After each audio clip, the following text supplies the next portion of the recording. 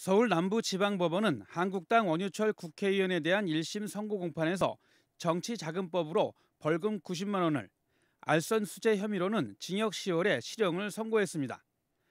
재판부는 산업은행장을 찾아가 대출을 청탁하고 실제 대출이 이뤄진 점, 부실 채권이 발생한 점을 알선 수재로 봤습니다. 타인 명의로 후원금을 수수하는 등의 정치자금법 위반 혐의에 대해선 의원직이나 피선거권을 상실할 정도는 아니라며 벌금 90만 원을 선고했습니다. 정치자금법은 100만 원 미만이기 때문에 의원직을 잃지 않지만 알선 수재 혐의가 실형을 받으면서 의원직을 잃게 됐습니다.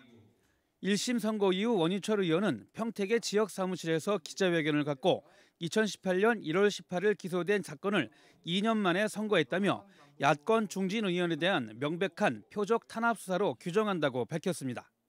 제가 누구한테 고소를 당하거나 고발을 당해서 이 사건이 시작된 것이 아닙니다. 어, 저를 고소한 사람, 고발한 사람은 아무도 없었습니다.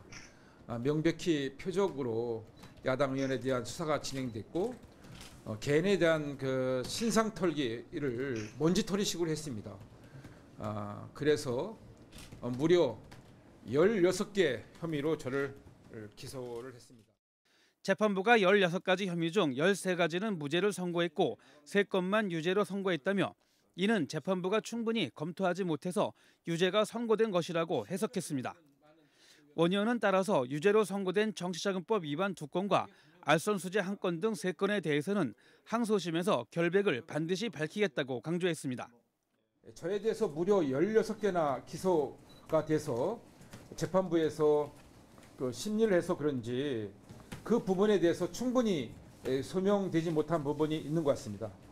아, 그렇지만 분명히 말씀 올리겠습니다만 혐의 사실이 절대 사실이 아니기 때문에 2심에서 충분히 소명을 해서 무죄를 입증할 수 있다는 말씀을 드립니다.